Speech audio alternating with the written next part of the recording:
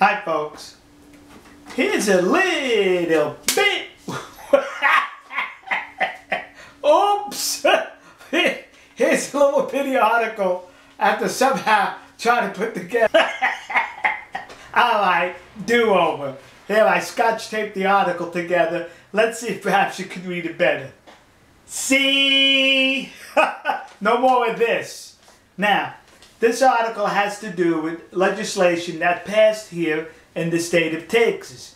It's called voter photo ID. In other words, to go vote, according to this legislation, one has to show an ID here in the state of Texas that has a photograph of your ugly mug.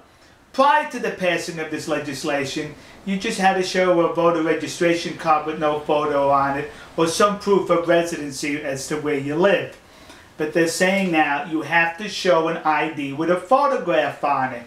And them they're Democrats. They're upset with that, so says they. Why, that's wrong to be showing a photo ID just to go vote. Well, of course Democrats feel that way. Because they're the party that allows you to vote more than once. They're the party that allows you to vote under multiple names. They're the party that allow you to vote even after you die. They say just because you die, you should not be disenfranchised. So naturally, they would find photo ID to be shown to vote to be abhorrent to them. But in this article, what it says is they filed a lawsuit. And they said in this lawsuit that this photo ID to vote is discriminatory. And they didn't leave it there. They said it's discriminatory against Hispanics and blacks. Huh? It's not discriminatory against Asians, Native Americans, or those so-called Caucasians. It's not discriminatory against any other ethnic group in the world, but just these two, the Hispanics and the blacks. So what are the Democrats saying when they're saying that? Are they saying that voter fraud takes place among the Hispanic and black community? Now, I'm not saying that. They're saying that, they're alluding to that in this lawsuit by saying it's discriminatory, discriminatory towards them. Because let me tell you something.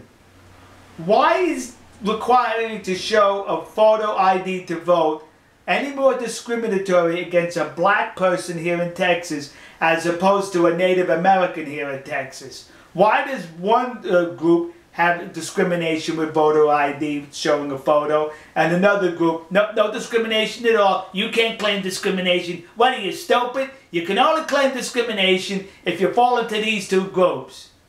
You see? Because that's what Democrats do. They believe in class warfare. They believe in the politics of division.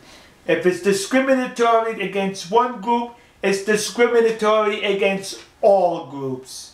That's what it is. But it isn't discriminatory against any group because to get a photo ID here in Texas is relatively easy and inexpensive. There's be no problem for doing that. You have to show it to Border Plane. How come they're not claiming, why, it's discriminatory. You have to show it when cashing a check. Why, that's discriminatory. What are you, stupid? That's the Democrats in these here United States of America. All right, folks. We'll see you. God bless you. God bless America. And God bless the nation you happen to be in. See you.